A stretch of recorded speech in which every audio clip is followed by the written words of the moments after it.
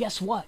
Good morning. It's finally Friday. Can you dig it? The end of the work week. I mean, it's like a sexual explosion. It's finally here. Are you excited? All we got to do is get through today, right?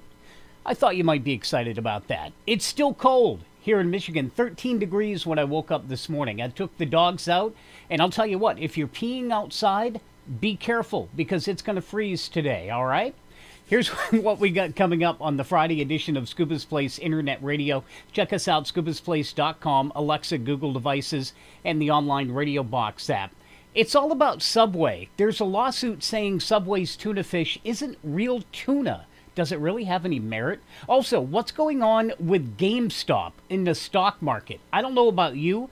I can't keep everything straight, especially when it comes to the stock market. So, we're going to break it down in layman's terms also, what happened to one gentleman after having sex? Needless to say, he's not around anymore. And we've got a whole lot more we're going to be talking about, including would you get in the car with a 16 year old driver? I don't know. Do they have enough Prozac for that? It's all coming up, Scooba's Place, on this Friday morning. Let's get going.